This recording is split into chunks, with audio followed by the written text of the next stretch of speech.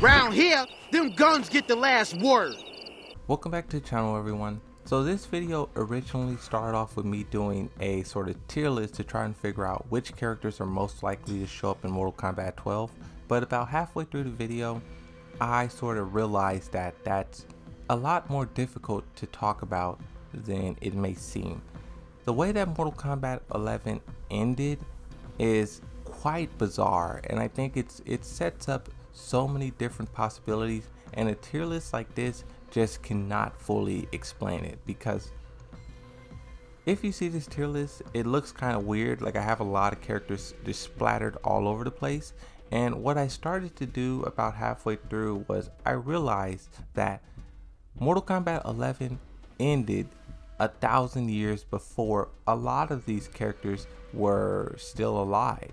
So it's very hard to say if a character like D'Vorah will be in the game because Mortal Kombat 11, Mortal Kombat 12 will pick up a thousand years before this character was even relevant.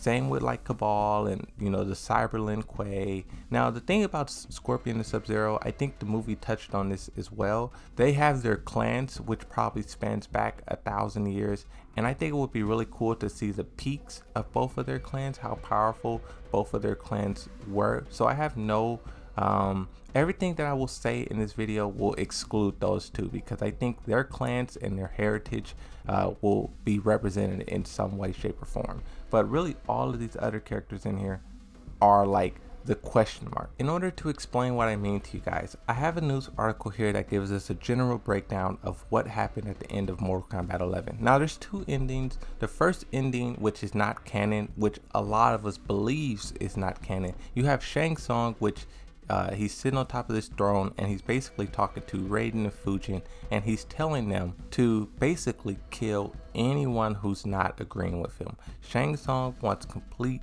total control of everything and anyone who disagrees with that, anyone who's not falling in line, Raiden and Fujin and possibly the other gods and whoever else will you know, eliminate them. In what everyone believes is the canonical ending, just because of how much more effort and more uh, thought went into it, we think this is the, the canon ending of the two. It says players who select Liu Kang will assume control of him and defeat Shang Tsung.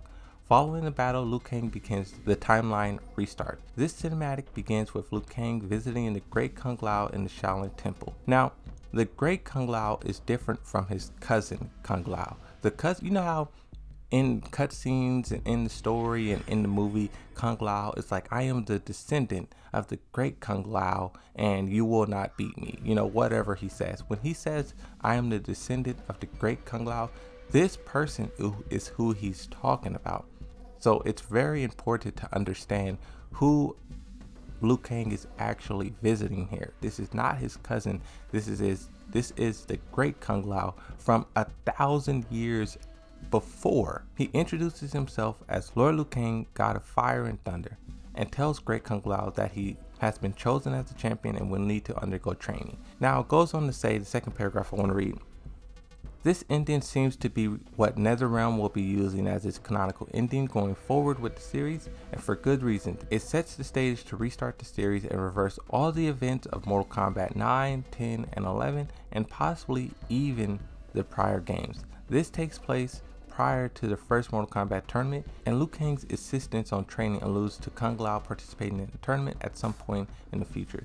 This would set the stage for Mortal Kombat 12 to take place during one of the first Mortal Kombat tournaments and feature the ancestors of the mainstays in the series like Scorpion, Sub-Zero, and obviously Kung Lao, right?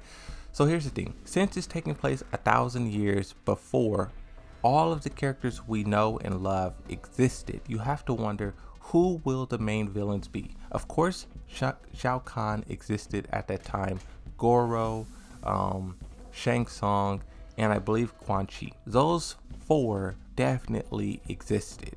And you have to wonder, will the game sort of revolve around them? Will Shao Kahn create those four villains again? Those villains has caused him so much pain and agony his whole life Will he create them again? Because he literally has the power to decide who lives and who does not live in this new reality. So will he create the villains again? Is the villains necessary to the balance, the existence? That's one thing to think about. Two, if he does not create those villains again, what villains will take its place? Now, I think there's two possibilities in which this will go. You have the first villain being the Titans. Now, I have a screenshot here. This shows, of course, you have uh, Shang Tsung flying up above there. Shang Tsung and you know his ending or whatever took over the Time Titans spot. But then you have down here at the bottom, these are uh, what we assume the other Titans look like. Now, this one, I don't know if this is just a helmet of the Titan or what this is, but you have a lady with a crown, you have like some type of like giant evil fish looking creature, and then you have like some space kraken lava squid type of thing. And you have to wonder, what are these other Titans capable of? Is Liu Kang preparing the Great Kung Lao to stop this? Or is he helping to defeat Shao Kahn? Another thing I, I, I was thinking about too, the closest thing we have right now to understanding what the other Titans may be is the Infinity Stones of the Marvel Universe. Each Infinity Stone holds a unique aspect of life, of you know the galaxy. You have the mind, reality, power, space, time, and soul. We already seen the titan of time, that being Kronika, but what if there's a space a, a titan of space, a titan of power, you know, so on and so forth. I think it would be really cool to see what the other titans are capable of, what their powers may be, and really I think what what's what's the most fascinating thing about the other titans is what their reaction to Kronika's death will be. Because you have to imagine, a titan doesn't die. We barely saw elder gods and we barely seen them die or you know have some sort of uh take some sort of damage. So for a titan which is the next step up to die and be replaced you have to think they will feel a little bit more worried about what's happen what's going to happen next. So i can see Liu Kang prepping kung lao to deal with that but I can also see them just, you know, going the safe route and bringing back Shao Kahn and all of them. The second thing that I think would be really cool to address, and this is why I was saying, will Liu Kang bring back Quan Chi and all of these villains who he has problems with? If he doesn't bring them back to life, I think there's more villains lurking in the darkness. If we go back to the tier list that I was doing, in this tier list, now first off, let me just say, don't pay attention to the side here, the 100%, the A, 50-50, C, don't pay attention to that. That no longer applies. No longer applies to this discussion.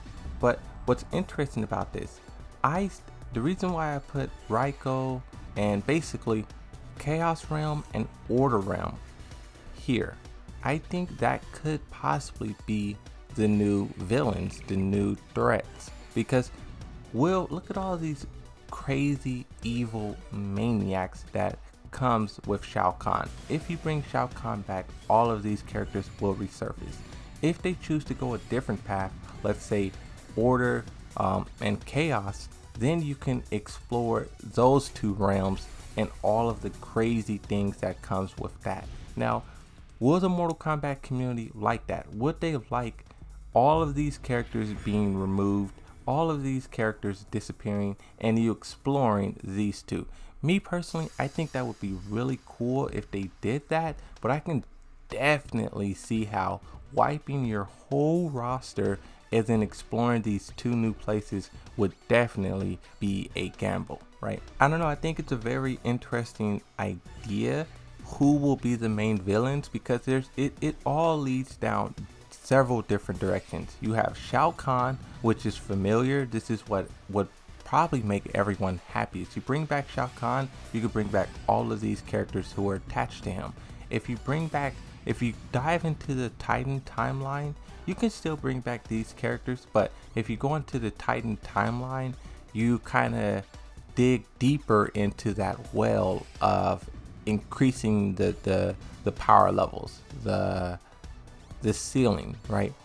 What happens when Shang Tsung. What happened when Liu Kang kills another Titan? Now he has two Titan powers, right? Is he basically Thanos at that point? Is he basically going around stealing all the Titans' powers at that point? The third possibility, you have Order Realm and Chaos Realm, which is which has so much untapped potential. I don't know. That's that's pretty much all I have to say about this. Just my three ideas of where the story can go. Um, I don't know which they will do. It's very tough decision. Shao Kahn's the easiest. The Titan looks like what they're building up to. Um, I think it would be crazy to just drop off the, the Titan storyline is an Order and Chaos Realm. It's just a fan favorite of mine that I would love to see explored. But let me know down below what you guys think about my theories and my topics in this video. I'm very interested to see what you guys think, but that's it. Thanks for watching. I'll see you guys next time. Bye bye.